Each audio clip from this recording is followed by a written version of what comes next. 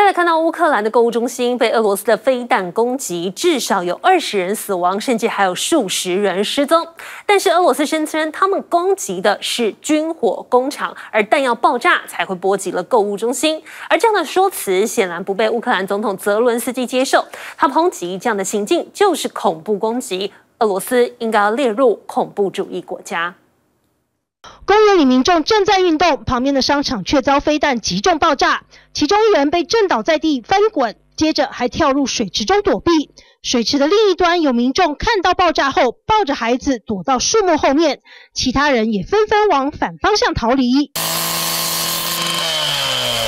乌克兰中部克列缅丘格市中心商场遭到俄国飞弹袭击，化为废墟。最新的遇袭瞬间画面曝光。除了有旁边公园民众仓皇逃难躲避的画面，总统泽伦斯基也分享了监视器拍到飞弹击中商场瞬间的可怕画面，再度痛批俄国针对乌克兰百姓攻击是恐怖分子国家。І за цей акт державного тероризму, як і за всі інші, Росія буде відповідати на полі бою в Україні посиленням санкцій і обов'язково в трибуналі. 有家属跑遍医院，最后又回到现场等候，拿手机展示相片，哭着寻找失踪的女儿。Об'їхали всі больниці, казали, немає. Морги не обознані, ще ДНК, ми не знаємо. Росія! Тварь! 有民众在附近的避难所描述自己按摩到一半，却听到空袭警报声响起。Посетителі, так, клієнти спустилися, я не встигла, бо я була на масажі, я, я просто не добігла, не встигла добігти. Добіжала вже в чому була, по склу, перелякана. 必须衣衫不整的逃难已经算是幸运，有人只是进去商场送修手机、喝个咖啡，就遇上空袭，遭到炸伤，必须住院治疗。 Дійшов до кофі м, метрів 5-7. Красно-оранжева вспишка, ракета. Все. Далі відкинуло волною, потім ще потучала ще одна ззаді. Щасливо чи справа, я вже не пам'ятаю. І все, гарів, дим. 还有人尽管自己受伤，也不忘帮忙别人逃命。 I saw lots of wounded people, burned people. Some were covered in blood, Mikola says. One girl fell down and we helped pull her along. She kept falling and losing consciousness. Падала сознание, теряла 乌克兰当局表示，俄军空袭时，商场内有超过一千名百姓。幸好警报在飞弹击中商场十四分钟前就响起，让许多人有时间逃离，否则死伤恐怕会更加惨烈。 Это самый активный живой, э, самый активный ц- центр в Кременчуге.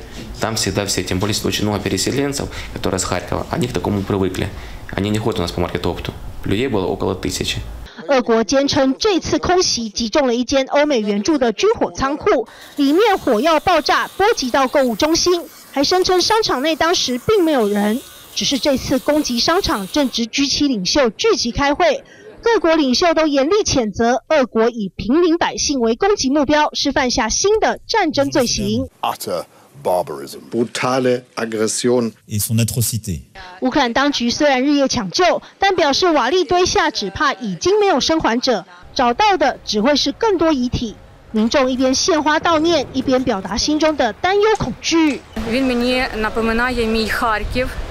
І я б дуже хотіла тут залишитися, але й- в мене тривога настільки піднімається. 有民众从东部的哈尔科夫来到中部的克列缅丘格躲避战乱，没想到还是无法逃离俄军炮火。尽管不愿离开祖国，现在也不得不重新考虑为了孩子暂时去国外避难。TVB 的新闻于思颖综合报道。而现在，俄罗斯扩大对美国的禁止入境名单，新增了二十五位美国公民，包括了美国总统拜登的妻子吉尔、女儿艾希莉，还有多位的美国参议员。不过，现在普京最不想见到的北约东扩成为了现实。刚刚收到的最新消息显示，北约在排除所有障碍之后，正式邀请了芬兰以及瑞典入会，北约的势力东扩成为定局，而成员国的数字从三十国增加为三十二国。外 快手忙清理残骸。乌克兰第二大城哈尔科夫又有学校惨遭攻击，而另一边紧邻北顿内刺客的巴克马特民众落泪挥别家园，就怕俄军很快攻来。Ну, потому что такое положение сейчас, и почти полгорода уехало. 炯炯眼神对准远处目标。 为了应对战争持续拉长，乌克兰正在神秘地点训练更多新兵。They work in IT, they're drivers, teachers, they know nothing about military affairs, he says. That's why we decided to create this training program. 现场还出现美籍指导员传授使用美制武器。American weapons, uh, big one is this guy right here, uh, M250 caliber Browning machine gun. So if you weren't here, would they be able to use this weapon, or That are was actually one of the problems before I got here is they were not able to use this weapon system. Wow. Volunteers like me. 与此同时，北约峰会正在西班牙登场，西班牙国王菲利普六世亲自主持晚宴接待贵宾，并呼吁力挺乌克兰。 War has returned to Europe. No country is unaffected by this war. Must stand together in support of the Ukrainian people. 俄乌战争让欧洲各国变团结，同时加速北约扩张。芬兰和瑞典现在确定扫除土耳其障碍，三国周二完成备忘录签署，加入北约已成定局。 And I'm pleased to announce that we now have an agreement that paves the way for Finland and Sweden to join NATO. 北约也因为俄乌战争改变政策，将宣布增兵三十万人抵御俄罗斯，同时也会加强援助乌克兰。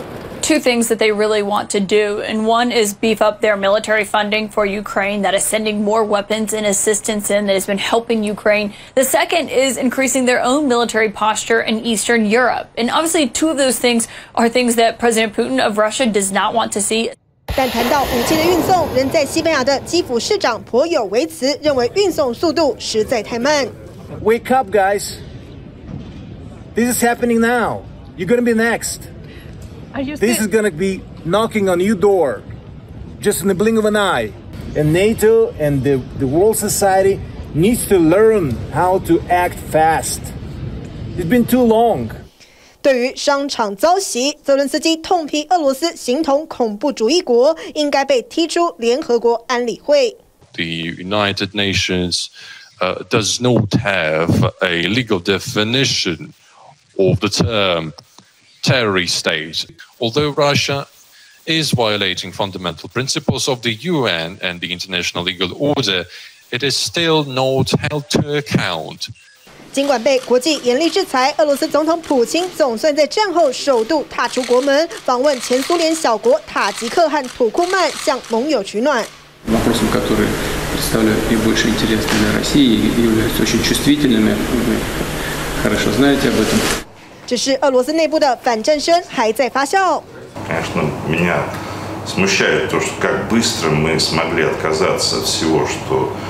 было достигнуто в 90-е годы. Это же какие были страдания холодной войны, там, разногласия. Их преодолели люди. Потом мы отказались от всего, что мы достигли в 2000-е годы. И сейчас 俄罗斯铝业大亨语重心长，形容战争等于葬送俄国经济，没有任何赢家。不过，俄罗斯现在有中国撑腰，帮忙一起骂北约。北约持续突破地域和领域， 鼓吹集团对抗，国际社会对此应该保持高度警惕。俄乌战争不见停火的迹象，区域对抗的火药味反倒越来越浓。TVB 新闻综合报道。想扩大国际视野，掌握趋势，请订阅专门报道国际新闻的 YouTube 频道 TVBS 国际 Plus，记得要开启小铃铛哦。